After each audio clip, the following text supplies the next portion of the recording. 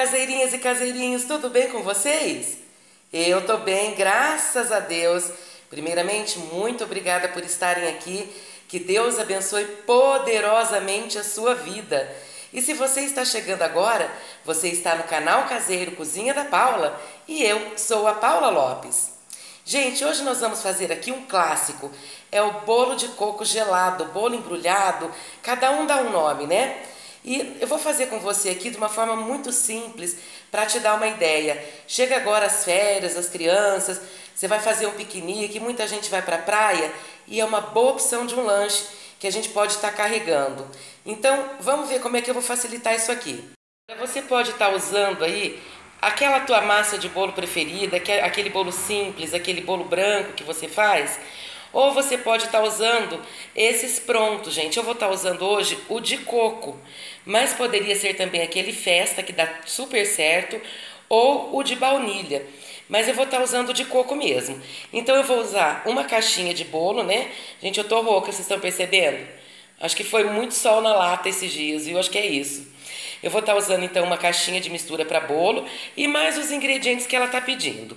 Eu nem separei porque cada marca vai te pedir uma quantidade de coisa. Então, vou fazer meu bolo e depois disso, olha, eu tenho aqui leite condensado, uma caixinha de creme de leite, 200 ml de leite de coco e a mesma medida, 200 ml de leite puro. E aqui eu tenho 100 gramas de coco ralado. Pode ser que sobra um pouquinho, pode ser que falta um pouquinho, isso a gente vai ver só depois. O meu leite condensado, gente, eu vou estar usando também somente 200 ml. A caixinha tem 395. Eu vou estar usando somente a mesma medida que é do leite de coco e do leite.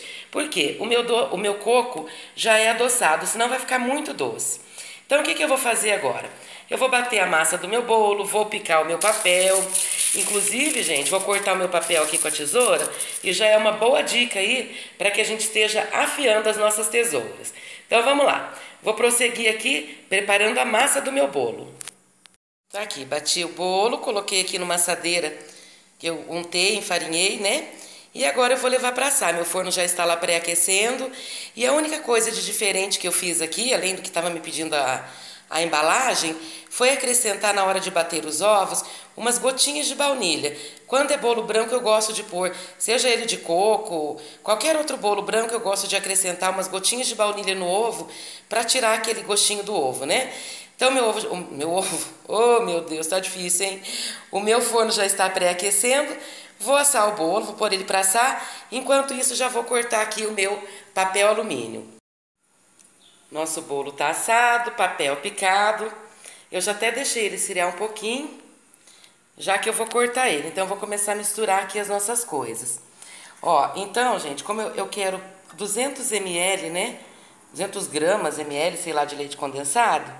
Tem 395 a caixinha. Eu vou pôr aqui, não precisa ser também ao pé da letra, né? E mesmo porque isso é muito a gosto. Se você gosta mais doce, você põe um pouco mais, um pouco menos, né? Então, tá aqui o leite condensado. Eu vou tá colocando tudo um por um. O leite condensado, o leite, o creme de leite. E essa mistura aqui, se sobra, normalmente não sobra porque é bom que o bolo fique bem, bem molhadinho, né? Mas se sobra, você pode estar tá congelando e aproveitando aí, reaproveitando, né? Num beijinho, num recheio de bolo, não é perdida não. Vou só misturar isso aqui, até vou pôr mais um golinho de leite aqui, ó, para aproveitar todo esse nosso leite de coco. Vou misturar tudo isso aqui e cortar o nosso bolo.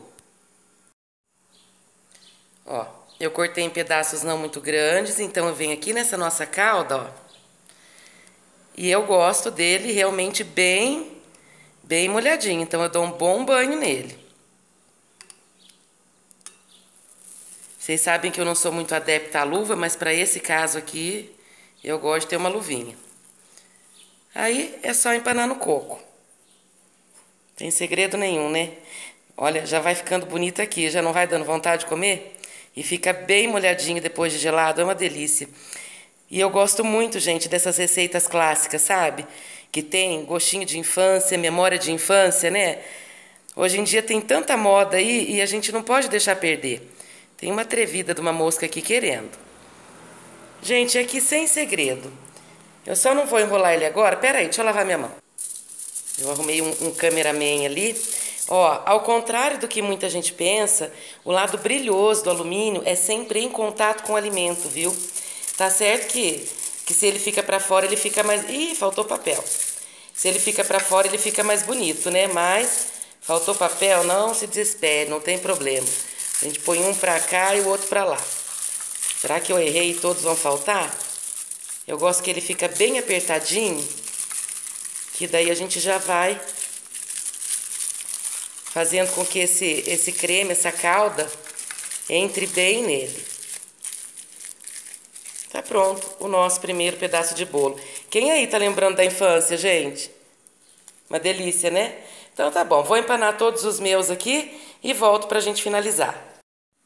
Prontinho. Esses aqui já estão prontos para ir para a geladeira. Aí eu deixei um aqui, ó, aquele primeiro que nós fizemos, eu deixei, eu deixei ele no freezer enquanto eu acabava os outros. Não é o ideal, tá, gente? O ideal é na geladeira mesmo, pelo menos por 12 horas, para que ele esteja bem bem saboroso mesmo.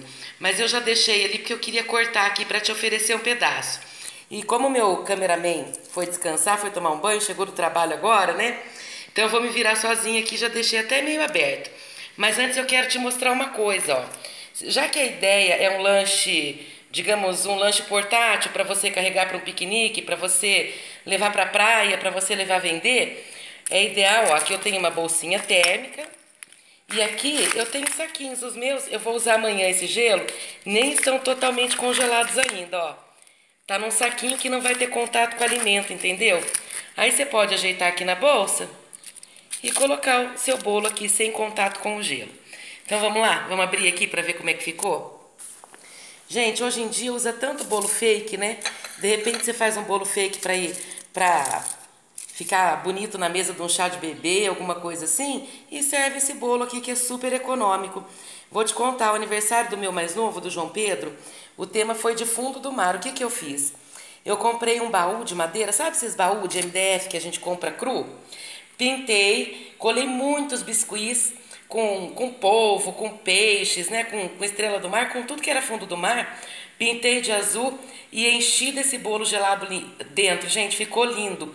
E fez um sucesso absurdo. Então é, é a criatividade da gente que vai. Lembra que meu papel estava pequeno, né? Tive que ir por outro. Vou cortar aqui para você, ó. Ó. Super úmido lá dentro. Tá vendo? Você consegue? É que a câmera não, não fica, né? Você não consegue ver direitinho. Mas, ó, tá molinho, maciozinho. A minha calda foi quase toda, gente, porque eu realmente deixo ele bem úmido. Já o coco, no final, não é que nem faltou, mas se eu tivesse um pouquinho mais, eu teria colocado mais coco nos dois, três últimos pedaços. Mas deu também. Gente, foi uma ideia aqui para você, um clássico, né? Quem nunca? Quem nunca comeu um bolo de coco aí? Quem nunca comeu um bolo embrulhado, um bolo gelado? Tanto faz o nome. Olha, desculpa aí a minha rouquidão de hoje. Agradeço demais, demais a sua companhia. Muito obrigada por estar aqui e até o próximo.